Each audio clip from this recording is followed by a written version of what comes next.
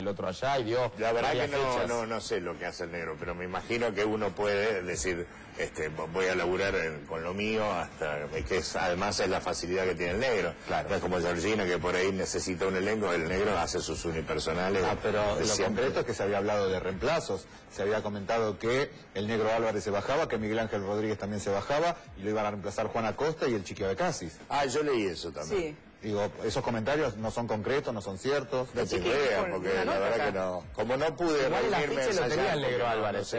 El Sí, afiche el de Belén. Francese. Yo te digo una Estaba cosa. el negro Álvarez. Yo, yo me encontré con Belén ayer porque la, la entrevisté para Secretos y Belén, eh, teóricamente, Está. Está. No, ella está en la productora porque va a encabezar próximamente otra, no sé, otra, Otra obra, comedia. ¿no? Que va a tener otra comedia que va a estar haciendo. Me habló mujeres. todo el tiempo de Nazarena, así que supuse que mujeres. está. Y me lo encontré en el corralón el otro día al, a de- y también está, firmó de con- la gira y Pero todo. se hizo una nota acá que lo dijimos. Bueno, por eso. Entonces, Sí, pero yo no sé en pomo, la verdad. El tema es que... El tema es que... Yo te, yo ¿sabés te la- qué? Yo en otro caso te la remo un poco más, pero acá como no sé yo voy a terminar. miedo- vos no venís a que te entrevisten acá, vos venís a informarte. Claro, es que si no estaría en casa mirándolo, digo voy allá y lo veo allá. Claro, si no me distraigo cosa. Cambiando los canales que a veces uno dice. Bueno, pero eh, digamos, el dato cierto que tenés, ¿cuándo tenés que eh, volver a laburar o Se cuándo tenés... supondría, por lo que se está diciendo, con los Grimaldi yo debería empezar a laburar tipo cuando está terminando el Mundial, nos juntaríamos, repasaríamos, eh, si hay cambios de, de elenco, los, los eh, ensayaríamos por primera vez y este, estarían así empezando la gira, calculo que será fin de julio, principio de agosto. ¿Hablaste vos con Nazarena? ¿Has hablado en estos días? No, andamos a los mensajitos, yo, yo pregunto así muy tímidamente, yo mi imagen es como que yo digo, ¿está todo bien? Si ella me dice sí o este, no, pero te cuento en otro momento, yo listo. Es, es mi, mi forma de relacionarme con ¿Y los ¿Cómo fue la respuesta en esta oportunidad? No, todo pero cortito, ¿entendés? Claro. Como- y la verdad es que este, no me da para, para ser más invasor que eso. Creo que ella sabe a esta altura del partido que si necesita que vayan, yo me tomo un taxi ahora, interrumpo la entrevista esta y me voy a darla porque sí. Porque- pero así que no, no jodo, no sé Me mucho. pregunto, eh, ¿has tenido algún tipo de acercamiento, trato, comunicación o vínculo con René Bertrand? No, desde el verano no. ¿Y no, no- no se sentaron a tomar un café o...? Nos sentamos ahí en el... en- pero porque fue una cosa como si ahora no se... Pero ahora ya pasó, ya pasó, ahora se pueden sentar. Pero por eso te digo, es como si ahora nosotros por alguna cosa en el corte nos empezamos a empujar y qué sé yo. Y después ya nos conocemos hace 30 años y qué sé yo, es, uy, boludo, bueno, yo estaba sacado, me chocaron el auto y bueno, y a mí me pasó, bueno, listo, chau, loco, ya está. Ya Este, está para vos.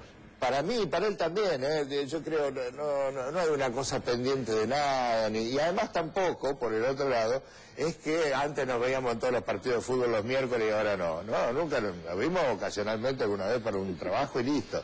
Teníamos buena onda, no somos amigos ¿Y tampoco. cuál crees que va a ser el próximo conflicto tuyo? Porque yo te Estaba pensando los pelearme con un periodista de traje. Los dos últimos años has estado como un quilombo, quilombo, Bueno, quilombo, ¿qué va a hacer? Es el precio que uno paga por ser expresivo. Ah, Me dice la producción que hay el último tuit eh, enviado por Nazarena, me decís, eh, Anita, ¿es así? Corregime. ¿Lo tenemos? A ver, se lo mostramos. Eh, porque se viene a informar, eh, acá. A ver. Deberíamos estar... Dice, deberíamos estar festejando en Villa Carlos Paz, pero no. Vos en el cielo y yo en este infierno por no tenerte. Te extraño, Fabián. Bueno, en cuanto a eso, ¿cómo sentís a esta Nazarena después de todo lo que pasó? Como la lógica indica que tiene que estar. Hecha pelota y con la necesidad de, de ponerse en pie. Están las dos cosas ahí. ¿No está en pie? No lo sé, yo calculo que no. Debería ser este. Eso es como cuando Messi erra un gol que vos decís, bueno, menos mal que lo erró porque si no es un marciano. Esto es lo mismo, si Nazarena por más huevo que tenga, más leona, que digan que sea más madraza, no está hecha pelota un tiempo largo por esto, es porque es de otro planeta y no es de otro planeta.